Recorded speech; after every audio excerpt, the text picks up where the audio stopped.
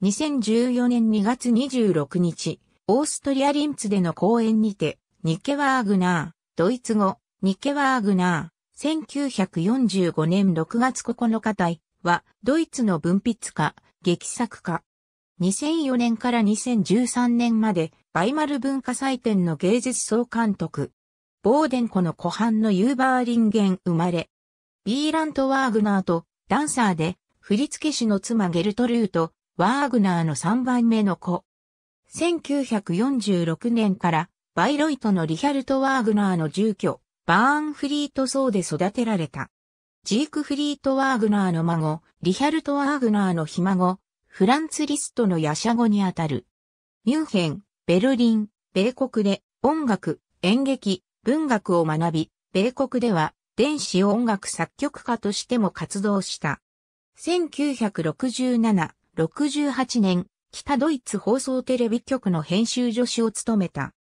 1971年から1974年まで、イリノイ州のノースウェスタン大学でティーチングアシスタントを務め、1973年、カール・クラウスの研究で博士号を取得。指導教員はオーストリアからの亡命学者、エーリッヒ・ヘラ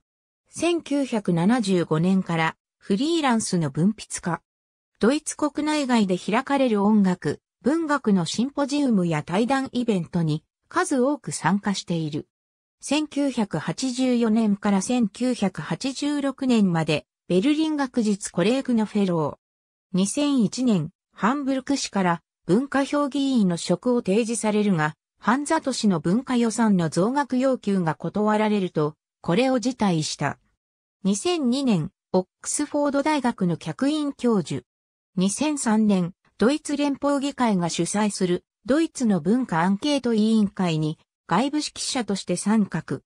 2002、3年、バイエルン州立歌劇場のヘルベルト・ベルニケとデイビッド、オルデンによるリング上演に文芸部員として関わった。2004年、ワイマール文化祭典の芸術総監督に就任。バイロイト音楽祭の長期政権を続けた王子、ボルフガング・ワーグナーに対して、痛烈な批判を繰り返し表明し、長年にわたり公認の座を要求してきた。1999年、エルマール・ワインガルテンと組んで音楽祭総支配人に応募したのを皮切りに、ペータール・ジツカとの応募が続き、2008年には最初はエファ、ワーグナー・パスキエと組んで試み、応募締め切りの間際には、ジェラール・モルティエとのコンビに変えて応募した。